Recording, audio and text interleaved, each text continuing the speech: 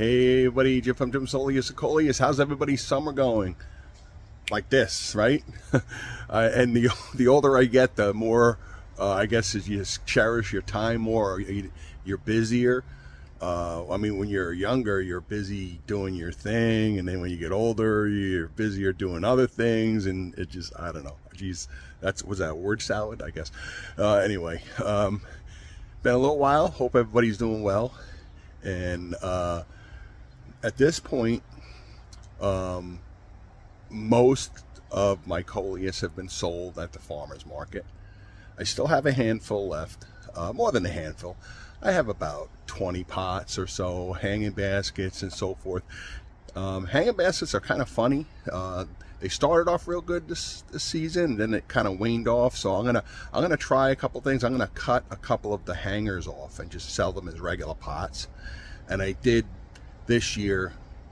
I featured them on the ground rather than hanging because when I used when I actually uh, put them on my table or when I hung them from my awning, people just didn't seem to appreciate because they're kind of looking up. So anyway, that's um, that's my experience selling coleus over the years.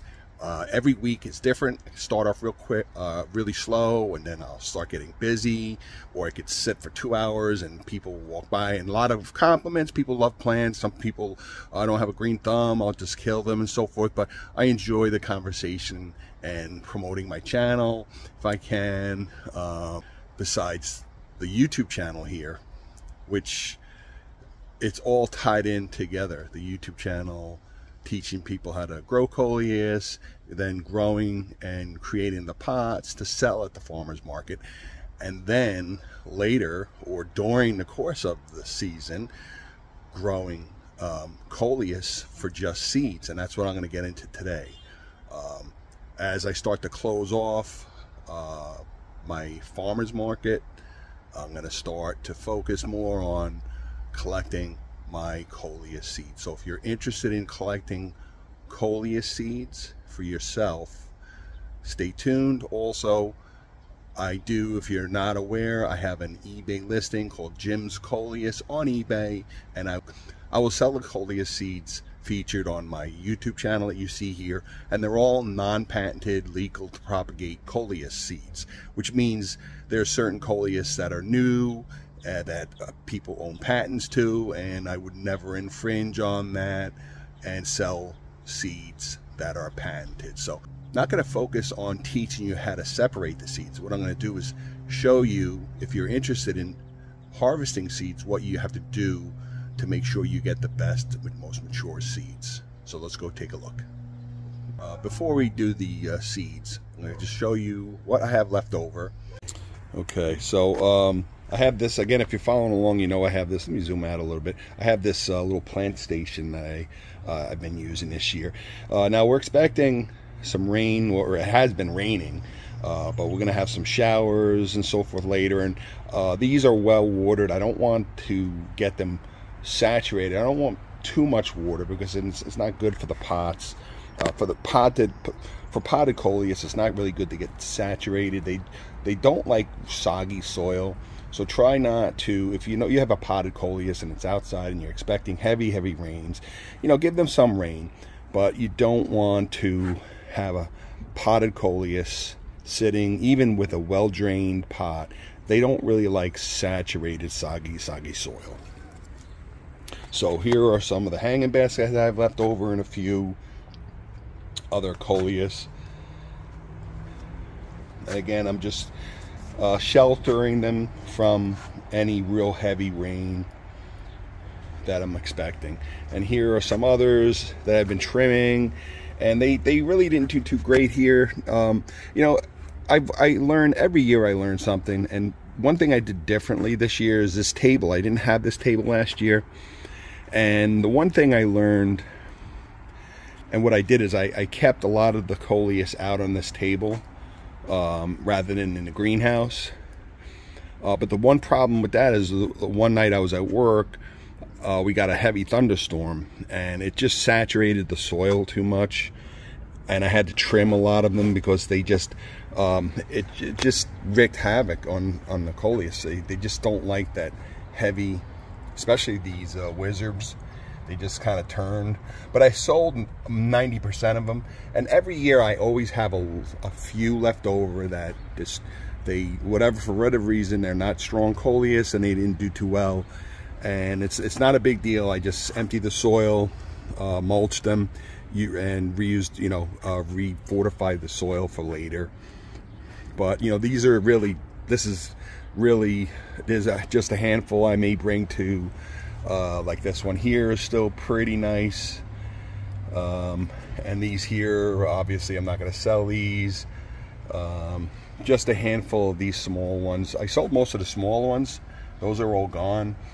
Um, so just a handful at the farmer's market. And of course these hanging baskets. And I, I mentioned what I'm going to do is on a few of them I'm going to cut. I'm actually going to remove I don't have to cut these. These actually will pop off. I'm just going to remove the hangers and see how they go because they're really, really healthy. Let me bring one of them out. All right, I lied. I brought a few of them out, but you can see they're, they're very healthy. They're still very, very healthy. I trimmed them a lot last week because again, they were outside and I, I just, the, the weather around here is so, it's so, even with forecasts, it's so difficult. And we got real heavy thunderstorm and they got a little too, too much uh, water. And uh, so I did trim these a lot and they're coming back. They, they're still very very beautiful and I can sell them. So um, this is about it and I have a few on the other side. And here's a couple of pots. This is the Saturn. Um, I'm gonna bring these to the farmers market because even though they're not um, really to what I would say my standards people um, I've noticed over the years there's always people who wanted a Saturn or some, a Saturn colorized, a coloration, a Saturn rings or Saturns. And, uh, you know, if I leave them home, people aren't going to see them. So I bring them. And this is still a fairly beautiful coleus. And it's healthy. There's nothing wrong. You see see what happens with the, the moisture? Got a little mold, little that little fuzzy mold, the downy mildew. So we're going to brush that off. You can actually just brush that away. It's not killing the plant, but um, it, it, you know, that's uh, something you want to watch out for. And these are well-drained pots, but again, um, I'm keeping this sort of out, um, sheltered. And just some of these are mine that I'm not selling. I have these. Um, these are actually uh, from my AeroGarden. They're cal Sorry, Cher. That's an inside joke between my friend Sherry and I. Uh, I could never pronounce the word Calibrachoa. Uh, but these are Calibrachoas that I grew from my AeroGarden. I potted them up. And, uh, you know, I'll bring them to the farmer's market. People always love flowers. Now that they're flowering, I may have a good chance of selling them.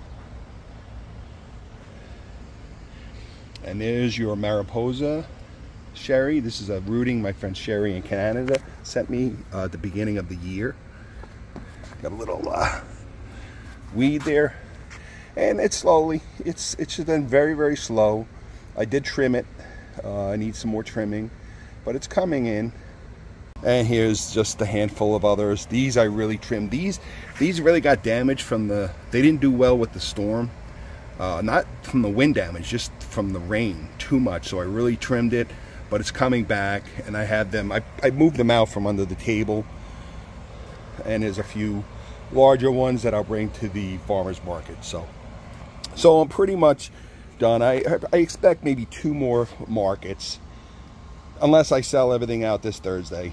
And then we're going to focus on the seeds. Now we're going to get to the seeds now. Okay, so um, these are mosaics. I'm gonna, I, I love the mosaics. They're pretty cool. And the one thing with these is they went to seed really, really fast. So I decided to keep this group just for seeds.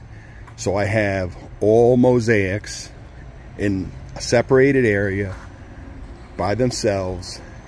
I had these in the greenhouse for the longest time uh, by the window uh, by the back window. They get pollinated, but I, I, felt that maybe they weren't getting pollinated well enough. Um, and it's absolutely not necessary, but um, I can come out and hit with the brush. But uh, I put them out here yesterday. I'm going to keep them out for a few, for maybe a week, but I'm going to watch again with the rain coming in. I'm going to have to move them, but this is pretty well sheltered here. I have this uh, big, big neighbor's um, tree and bush over here, so it it doesn't, it won't get that downpour. But again, I have these out to get pollinated, and these will be separated, and I'll have them on my Jim's Coleus seed listing. Now, over to the other end of my yard, we go to another Coleus, separated from here, that's going to seed. Okay, now if you remember, if you're following along, this was that little, not little, but this was a small potted um, Saturn's rings overwintered coleus that had a lot of seed stalks coming in and I hand pollinated them. And that's those other seed the other Saturn's rings that you saw on the deck that I'm going to bring to the uh, farmer's market were from this plant, from this mother plant. So we, as you can see here, this thing is inundated with seed stalks. So this is here. This is the only coleus here that is going to seed, which is going to really minimize cross-pollination. So the seeds will be as pure uh, for this plant and I have a lot of these seeds. So I will have seeds to this plant, to this coleus on my Jim's Coleus eBay listing. And that'll start around the end of September. I'll, I'll definitely let you know if it's earlier, but I need time for these to mature. I'm going to get to that next. Okay, now on the other end of my yard, I have this Defiance, and I only have one, and I love these. Um, so this one is going not a lot of seeds. Uh, so I have a handful, about three stalks. So I'm expecting more of them. So I should have some Defiance seeds on my eBay listing. These are non-patented, but they're beautiful, beautiful coleus. And I only had this one this year, and it's done really, really well. Okay, so let's get to knowing when to cut your seed stalks. All right, in general, if you are interested in harvesting your own coleus seeds and you have a plant that's going to seed stalk, that's growing seed stalks, let them flower, let them stay on your coleus for as long as possible until they start to brown.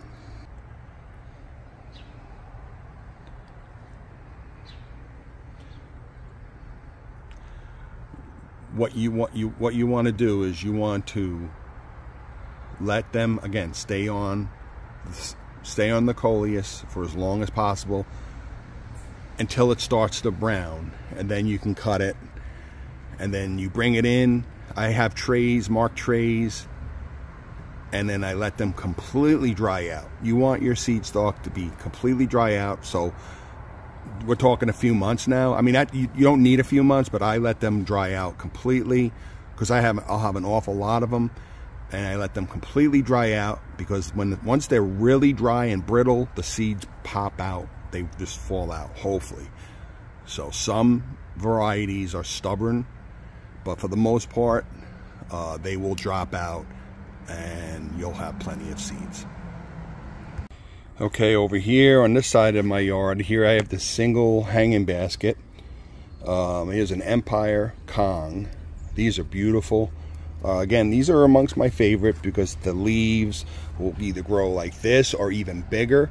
I have some in the front, in my front yard. We're going to show you how big they get, the leaves. But here is the seed stalk.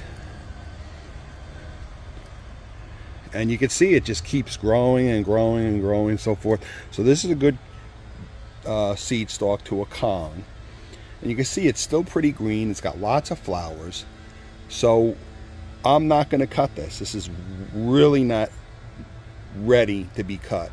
It'll generally start to brown on the bottom. And again, these just keep want to grow as tall as possible. So, but I will keep this on for a good couple of months until it's well pollinated and it starts to turn brown. So be be um, be patient. The longer you leave your seed stalk on, the more viable your seeds, the bet you much better chance you'll have of having mature, viable seeds. So be patient and let them stay on a few months. But again, a good rule is if, if it starts to become brown on the bottom here, you'll wait another week or so. And of course, the tops that develop, unless you pick them off the top like that and you keep it from growing taller, then all of these eventually will um, become brown. Not necessarily if if if it, this much of it or 75 80 percent of it is is brown and I may pick it uh, depending on how many seed stalks I have um, but be patient. Let the stalk stay on let it get pollinated and let it turn brown and then you can cut it. And you can cut it at the bottom it doesn't really matter. I cut it at the base so you get as many seeds um, but this will yield hundreds and hundreds of seeds. Not all seed stalks are tall. Um, this particular variety has shorts these are like the jitters variation and I'll, I'll throw these in to like the mix um, because oh, I have no other coleus here.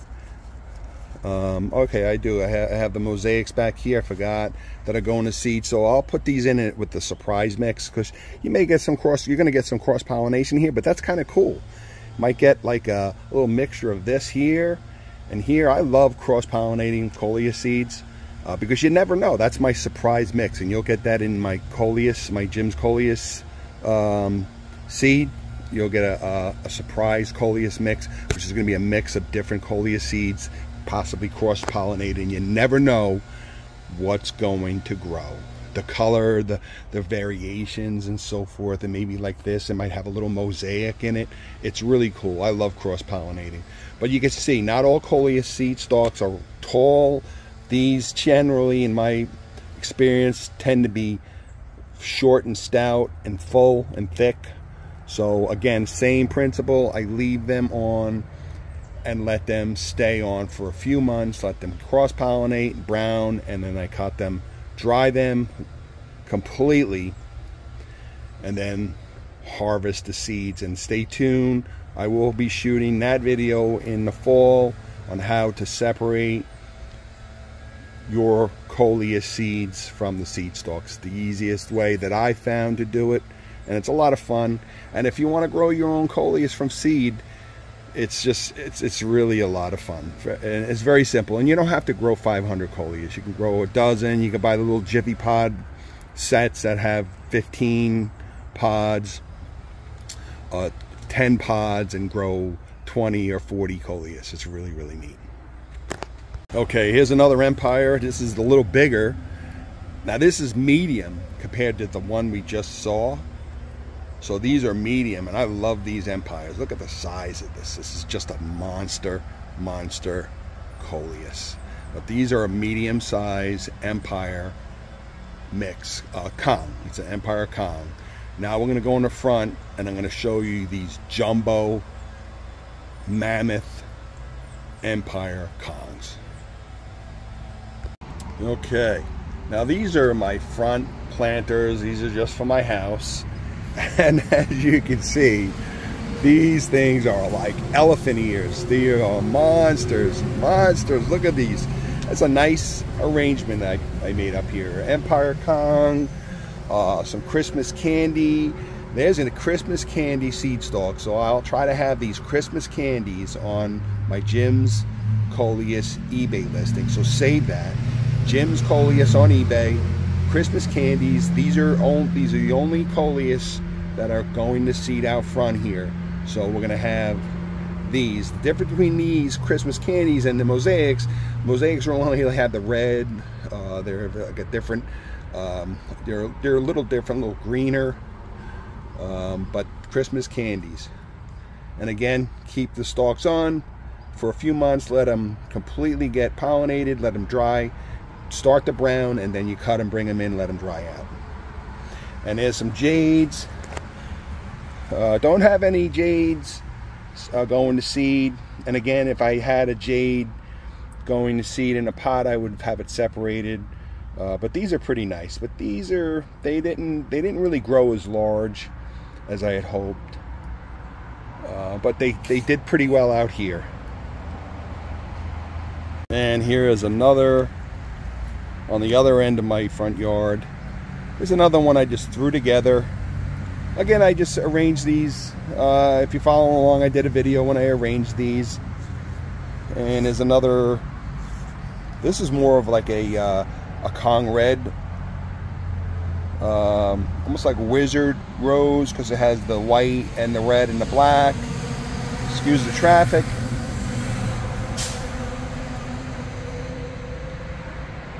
So these I'll have on my eBay listing. Here's a these are from that mosaic. You can see the little difference. And that's an interesting one.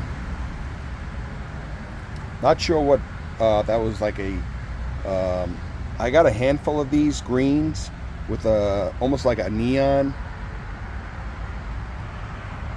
uh, I kind of liked the way these look, so I threw them in front here. It was the only one. I think I had one other one in the uh, greenhouse or in one of the, my hanging baskets.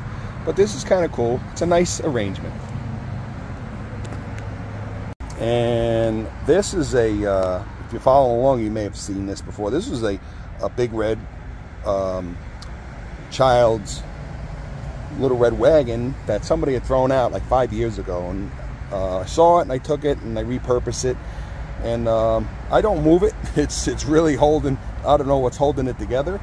Uh, I did drill holes into it so it drains, and I uh, I either put mixed flowers or mostly coleus here because there's a lot of shade in the front. That's the only downfall with the front here is there's a lot of shade. Um, but this year I haven't gotten a lot of insects. Usually I get a lot of insects out front here. You can see like holes in the coleus, but they haven't really chomped away. So uh, a pretty good year. Every year is a little different, but you can see mostly empires and there's that green and that's kind of neat. That's sort of like a pineapple, but it's really, it was a jade really, but it just, this one's brighter. But that was a jade or is a jade. It just changed a little bit into more of like a, a yellowing pineapple. It's kind of neat. And that's what's cool about coleus is if you grow a lot of them, you're going to get a lot of variations, and that's what's exciting about it. And there's one of my hanging baskets.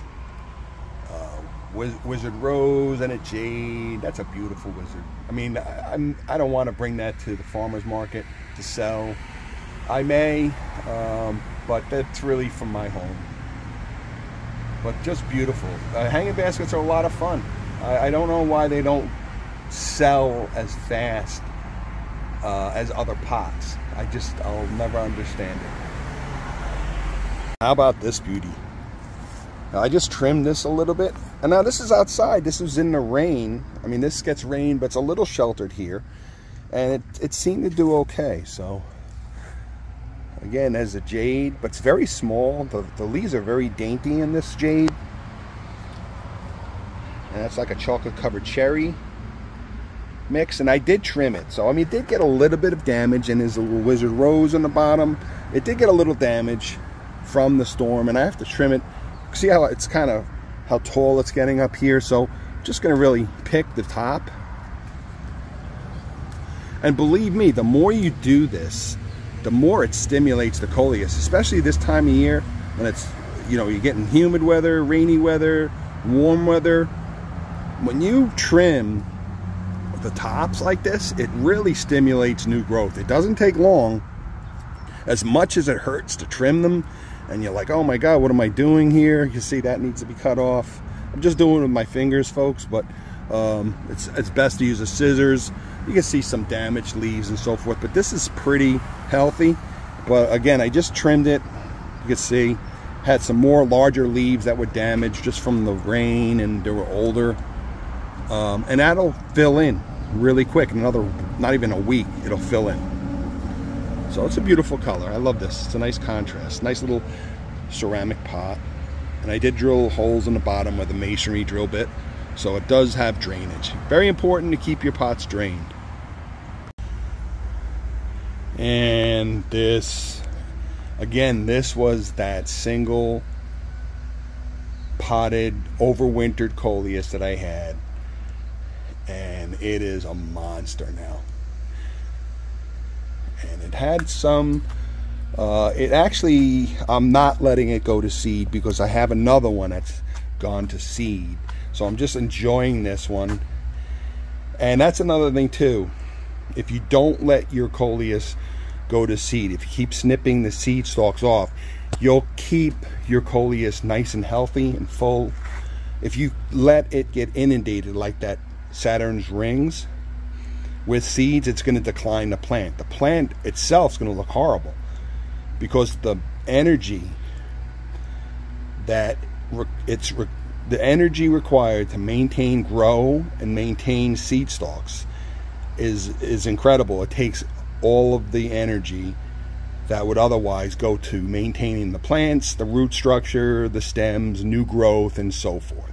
So if you don't want seeds um, if you like the seed stalks if you like the petals you can leave two or three seed stalks and let them grow. It's not going to really do big damage. It's not going to really take a lot of energy away, depending relative to the, to the plant. Uh, if you have a small pot, I wouldn't let seed stalks grow. Uh, but a plant like this, I can leave and let two or three seed stalks grow, and it's not going to really do any damage. Okay, now I can't shoot this video, close this video out without showing you the Lord Voldemort. And you know I will be taking at least six to eight of cuttings of this and keep them over the fall, winter, and into next spring and do it all over again. And that's what this is. This is rootings from last year, if you're new to my channel, that I planted in a circle in the pot and here it is. Lord Voldemort. And again, this one still to this this year refuses to go to seed. And they say some of the best coleus don't go to seed very easily or at all. so, um, but the Lord Voldemort coleus. And this is the only um, fish net I have and this again was two fishnet rootings, two or three, I think just two from last year. Again, fall, winter, spring of, of 2024, uh, I guess. And it's doing fine. Again, another, this is another coleus that does well if you want to keep wet rootings all over the fall and winter. If you want to keep rootings, these do really well because they have very heavy seat. Um, they have very heavy stems. They're very hardy, and they generally do really well. The only difference you'll see with these is um, the veining over the fall and winter will become less vibrant and more washed out, but it will stay. So I'm already planning to take numerous cuttings of this fishnet stocking.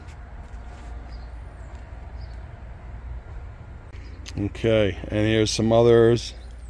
There's a mix I put together of uh, Christmas candy and a Saturn. And there's a Saturn rings. These were, these two here were um, Rosy Dawn these are part of my Rosy Dawn order. I ordered one Saturn's ring and one or two Saturns. And this is one of the uh, live plugs that I ordered from Rosy Dawn Gardens. The other larger Saturn, I believe I sold two weeks ago. But you can see these grow really, really well. Okay, everybody, so I hope you enjoyed that. I hope it's informative. If you're interested in collecting seeds, harvesting seeds, uh, just, again, leave them on as long as possible to make sure that they're mature seeds and you'll do fine. And again, I will show you how to separate the seeds, a little system I have. It's nothing, no rocket science. So stay tuned. I hope everybody's doing well. Hope your coleus is doing well. Any problems, you know, give just drop me a message here or on Instagram. Uh, I get lots of messages from people, uh, and I always I always try to get back. Lots of thank yous to all my regular followers that constantly chime in, send videos uh, send messages, kind words. It's very of encouragement. I really appreciate everybody. And I did hit 12,000 followers, 12,000 subscribers, and 2 million views. So thank you everybody for watching Jim's of Coleus.